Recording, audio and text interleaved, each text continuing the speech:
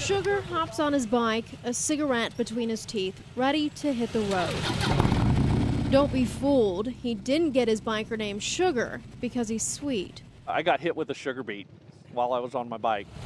Sugar, along with Elvis, Sippy, Spice, Shaggy, and Twister, ride for BACA, Bikers Against Child Abuse. Bikers is our first word. Yes, we are bikers. And I think that's why it works with the children because we are intimidating and they get that sense of comfort that they know that nobody's going to mess with them anymore because their new family is bigger and better than their purpose. BACA is a nationwide organization with the Yellowstone River chapter here in Billings. They may look tough, but when it comes to kids, they have soft hearts. All their rights were taken away from them. Um, they weren't allowed to be a kid anymore. We step in and let them be that kid.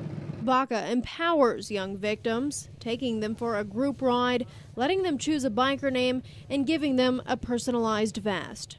You go from them being scared, wanting nothing to do with you, that you're just another adult that's going to let them down, to having them come running outside and just to watch them bloom. BACA members undergo months of specialized training so they can help kids face their abusers here in the courtroom. I don't really focus on what's being said in the trial. I, I try to send all my positive energy to the child so that they can do what they have to do on the stand and I'm strictly there for them and nothing else.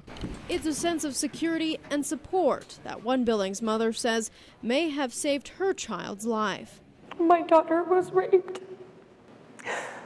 by somebody that we cared about and trusted. She says her daughter began cutting herself in an effort to cope. But after she found a BACA flyer and reached out, I was contacted the next day by a lady named Sippy. Everything changed. My girls had nightmares for a long time. They don't have nightmares no more. They learn that it's okay to be broken and that there are people out there that do care and won't hurt them. In that moment, when a child is no longer afraid and the wounds begin to heal, is the reason BACA rides. We call it the payday when you see that child that's not scared anymore, that is not crying, that's actually sleeping through the night. And that's what makes our hearts sing. That's what makes us do what we do every day. Oh, it's awesome. It's cloud nine. You know, you leave the courtroom and you're just your bike's not even on on the ground. You're just floating in air as you're as you're going home and it's the most amazing feeling in the world. In Billings, I'm Asia Gore, MTN News.